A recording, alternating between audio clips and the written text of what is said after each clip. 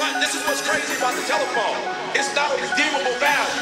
So when you talk to your homegirl on the phone and you gossiping with your girl, I'm not talking about the phone conversation. I'm not tripping about that. What I'm tripping about is you eating away at your hours.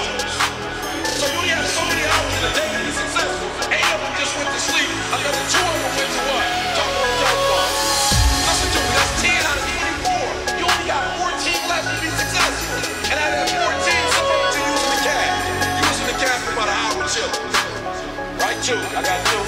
You in that two. Right? Listen to what I'm saying. You have less than eight hours. Some of you can get what you need to get done. And I'm not tripping. You can use your time like you want to. If you only putting in eight hours a day and you think you're gonna be successful you get out of here, you got another thing coming.